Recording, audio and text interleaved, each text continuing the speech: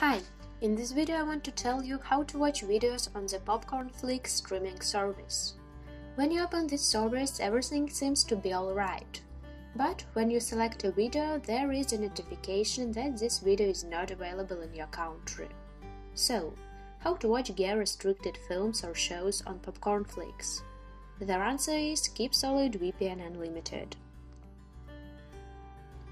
Open this app, click on the current server, go to the Streaming tab and choose Popcorn Popcornflix VPN server.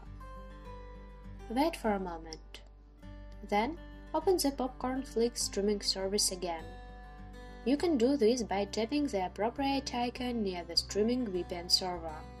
It's really cool because you shouldn't print the URL address by hand. Or go to the browser and refresh the page.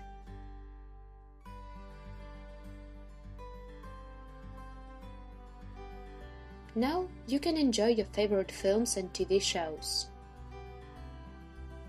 To download this application, follow the link in the description. See you in the next video. Bye!